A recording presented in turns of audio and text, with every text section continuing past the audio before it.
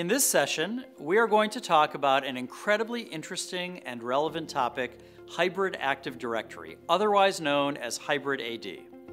At Nerdio, we have many partners whose customers are in the process of moving their on-premise environments to the cloud and want to take advantage of the Hybrid AD functionality built into our product.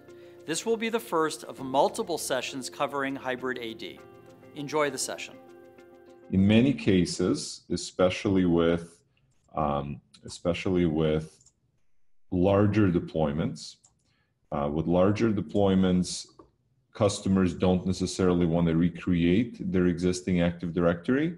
And as a result, they want to see if there is a way to deploy Nerdio and have Nerdio be an extension of their Active Directory, right? So wh- wh- why is this relevant? I mean, number one, you know, as I mentioned a number of times, it doesn't require you to recreate all the existing objects, which means all of the existing applications that the users may be using and, and authenticating with Active Directory uh, stay the same. The um, you know the, the domain membership of any existing VM stays the same, and and probably most importantly, it allows a customer or a partner on behalf of the customer to take VMs from one location, let's say it's on-prem, and move those VMs via something like ASR or some other replication tool into Azure even if those VMs are domain joined, because once they come online in Azure, they're going to be identified by the same um, you know, Active Directory IDs, and they're going to obviously they can't run in both places, so you have to shut it shut it down on the source.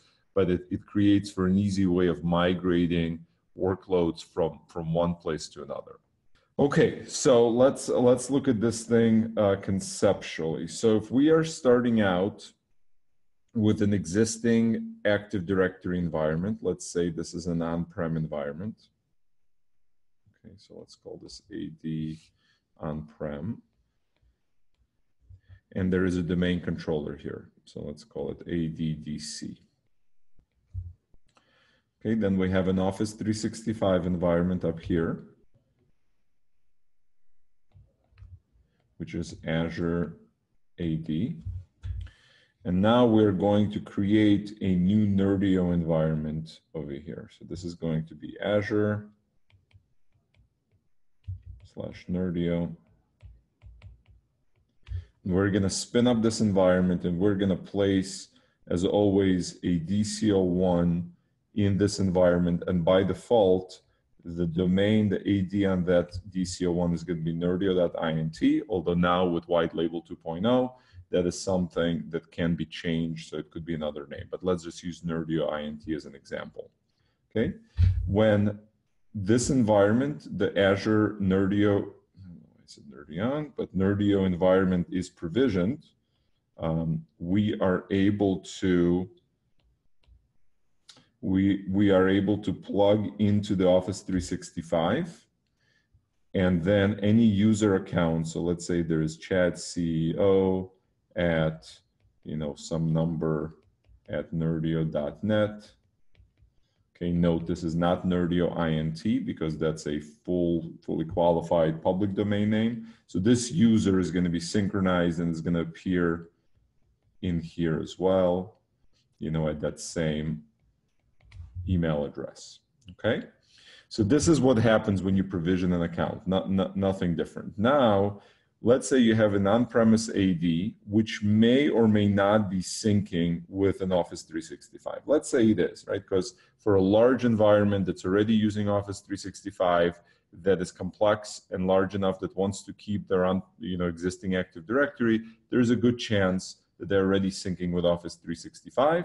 Um, everything works similarly if they're not, right? There's just a fewer fewer things for the automation to worry about, but let's, for the purposes of this illustration, let's assume that they are. So we have this AD Connect that is doing synchronization from this domain to this domain. Okay, now, um, when Nerdio comes online, it has this unique, globally unique domain name, whereas user accounts in here have some sort of other domain name. It's probably, you know, company.com or something like that, right? So there is no conflict between users at this domain and this domain. So when they synchronize, they both happily coexist in the same Azure AD tenant. All right, let's keep going forward. So now, so we, we have this environment, we just provisioned Nerdio, and now what we want to accomplish is we want to take this existing Active Directory and we want to extend it into the Nerdio slash Azure uh, deployment. So let, let's give this domain uh, a name. Let's call it, you know, we refer to this EAD, which stands for um, External Active Directory. So let's call it ead.local, just for illustration purposes. So this AD is called ead.local. When we create uh, an active, when we create a hybrid AD, when there is uh, there is a, a, new domain controller that gets created inside of the Nerdio deployment called EAD-DC01. It could be renamed to something else, and it becomes a domain controller for this existing domain. So basically, we have a site-to-site VPN between these two environments. So there is a site-to-site VPN. And then this new VM gets provisioned, which is a domain controller inside of the existing Active Directory. This then gets promoted, you know, so it gets added as a member server, gets promoted to a domain controller, but it's it's residing inside of Azure within the purview of, of Nerdio. And then Nerdio becomes aware of the various objects that are now available inside of the EAD.local domain. Okay, so the NAP, as we'll see in a few minutes, becomes, you know, the context of NAP is now aware of both the default domain it was provisioned with, which is that nerdio.int, as well as EAD.local,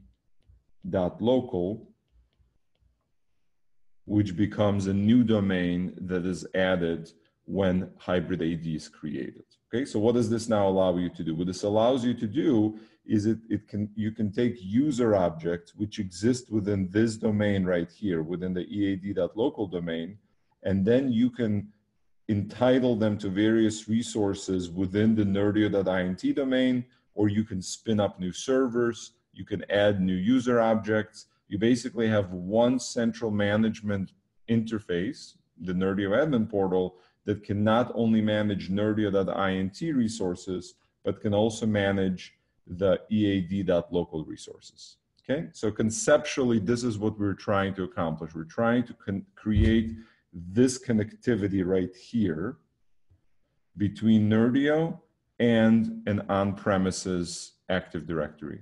Let's see from a NAP perspective, what a freshly provisioned uh, NAP account or an NFA account looks like. So if you look at this account, uh, this, this is something you've seen many, many times.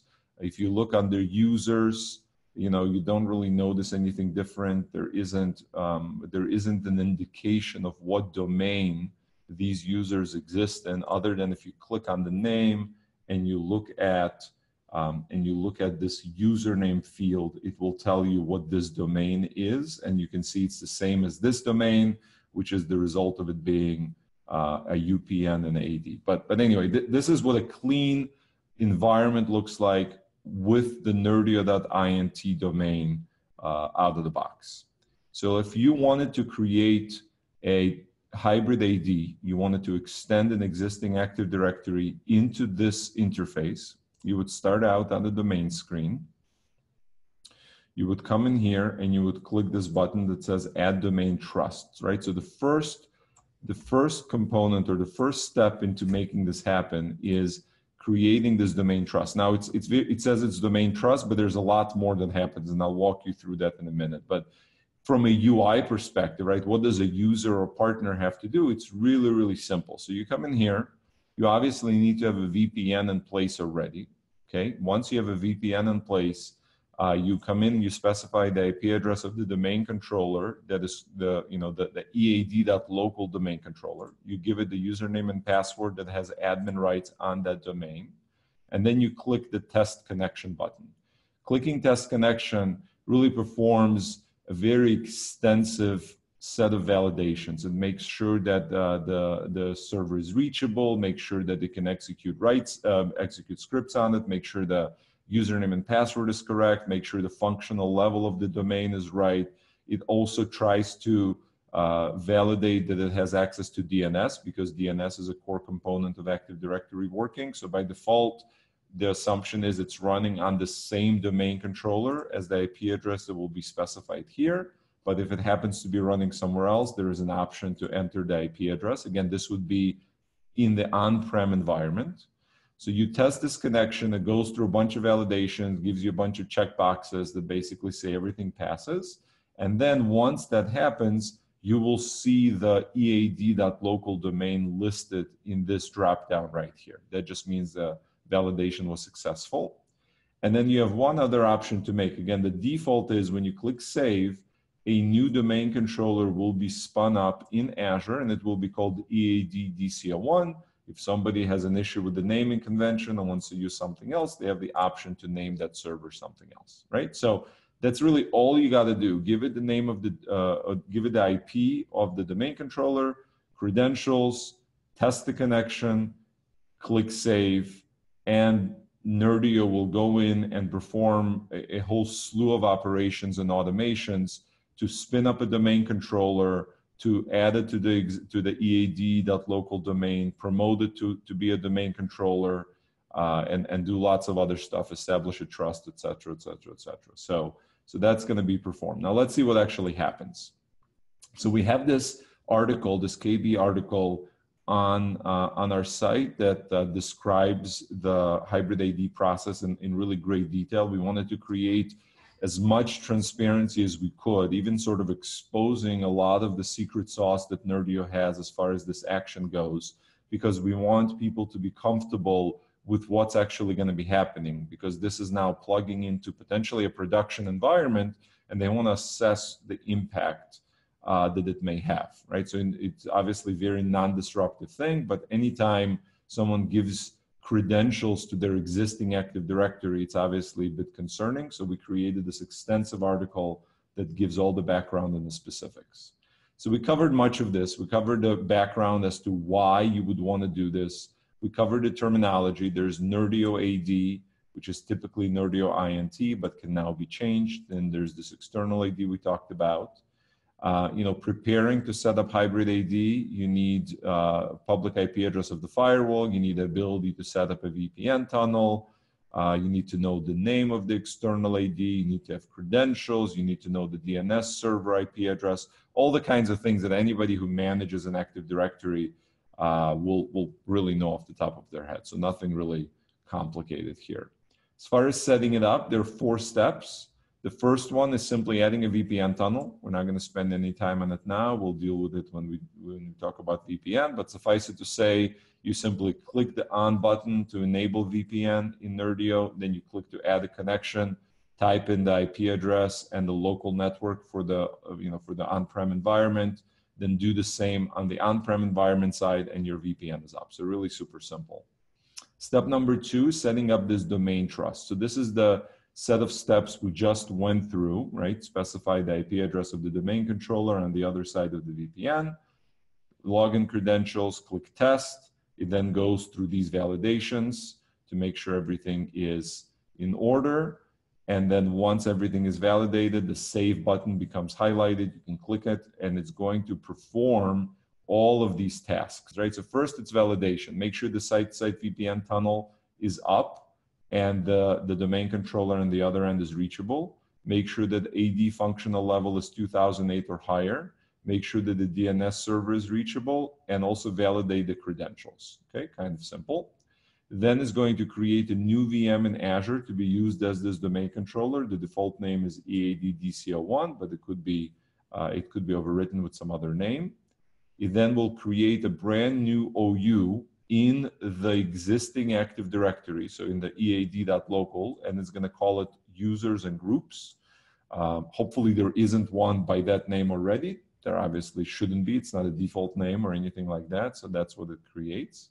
It will then create a new administrator account It's going to be called Nerdio Administrator. It will place it inside of this newly created OU, and it's going to make it a domain admin, schema, schema admin, enterprise admin, in the existing domain. So that's going to be the user that's going to perform all of the actions. Then it's going to do some DNS work. I'm not going to dig into the specifics of how this DNS is done, but it's going to add some conditional forwarders in a couple of different places. It's going to join this newly created VM to the EAD.local domain. It will then promote it to a domain controller with DNS. So now it becomes another domain controller in the environment. It will create the necessary AD replication subnet, in Sites and services, and the connectivity. And then it will create a two-way domain trust between the Nerdio domain and EAD domain. Okay, so by the time that process is done, we will now have the ability to allow AD resources from the external domain to be seen in Nerdio and vice versa. Okay, now by doing the step number two, which is enabling the domain trust, the only thing that's going to change is that we are going to have a new entry. We're going to have a new entry here that's going to say there is a domain trust that's been added. This NAP managed field is going to be set to no at this point. And then we will see a brand new server that's going to be listed under servers. Other than that, from a user experience or user um, UI standpoint, nothing else really changes in the NAP. So all we've done so far is set up a domain trust, but we did not yet grant Nerdio admin portal visibility into that external domain. Okay, so let's go to the next step. The next step is going to actually be setting that trusted domain as what we call NAP managed. So setting it as NAP managed is what changes the UI in the Nerdio admin portal to make it aware of that there is a new domain in place now, and now you can see and manage those objects. Okay, again, super simple. You now have this entry that I've described. It's going to be NAP managed. There's going to be no at this point. There's going to be a highlighted button said NAP set as managed. You click there. And then the next question is what happens with Azure AD Connect? Okay, so remember, we made the assumption in our diagram um, that I was doing on the whiteboard that since it's a large enough environment that is warranting to do a whole hybrid AD deployment, they're probably synchronizing that AD with Office 365 already.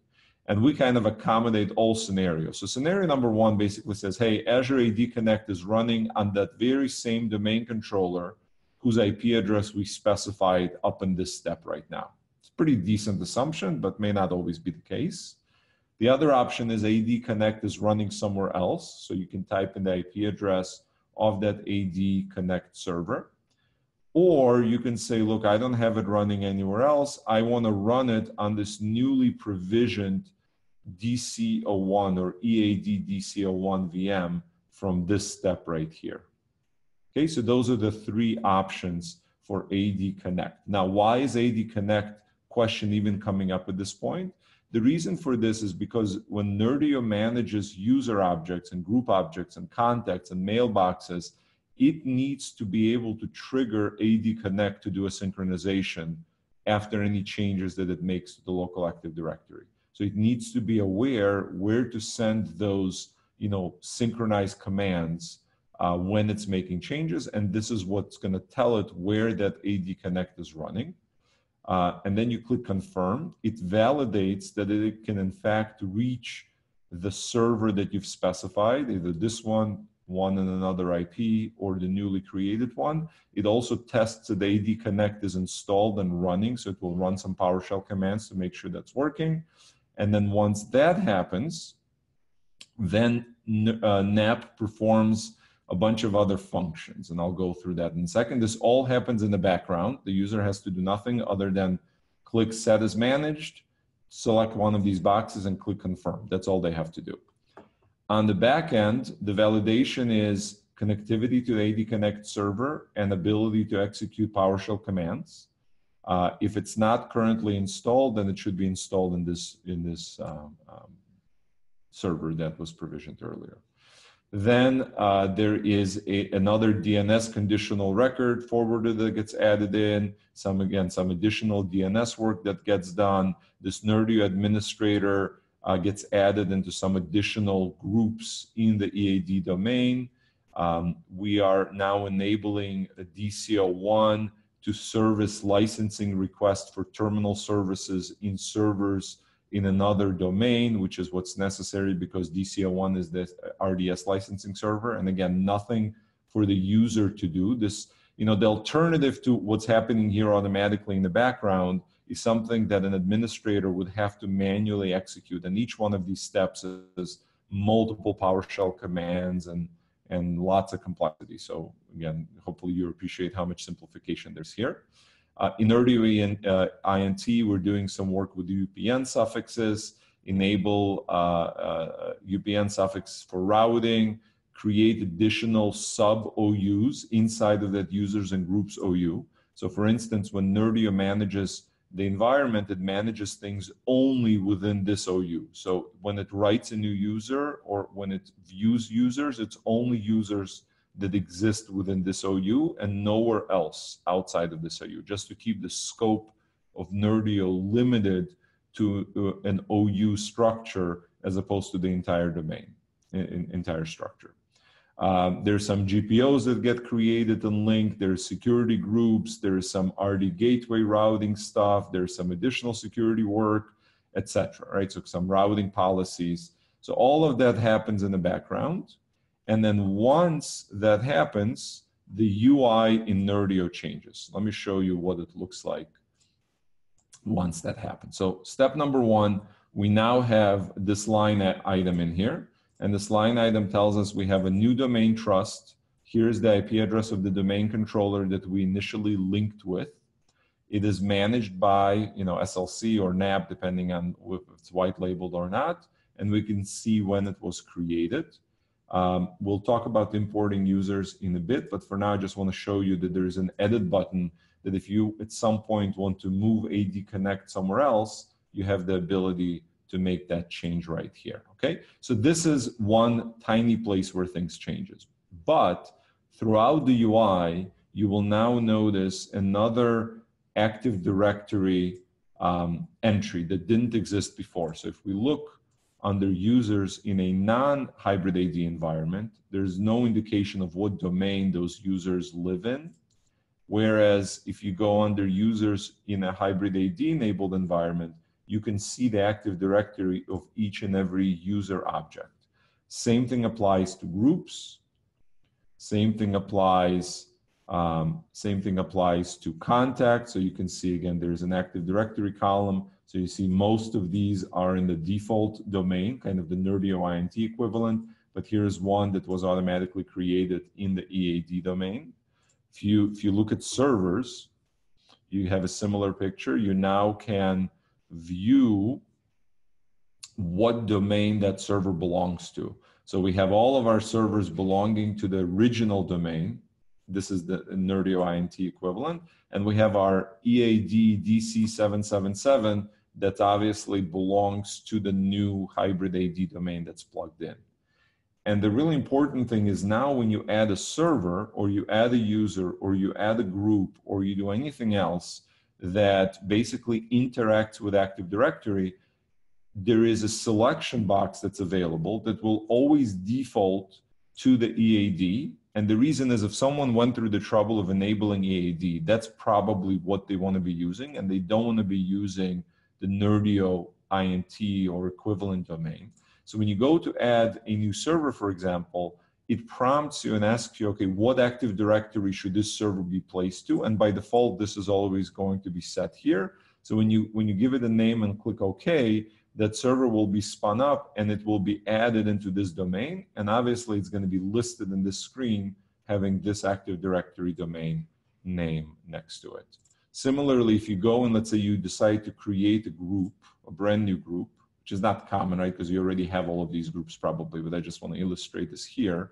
Let's say you're creating a security group. So again, now, where should this security be group be created? Now you have two choices. You have the EAD or you have the, the existing domain in here.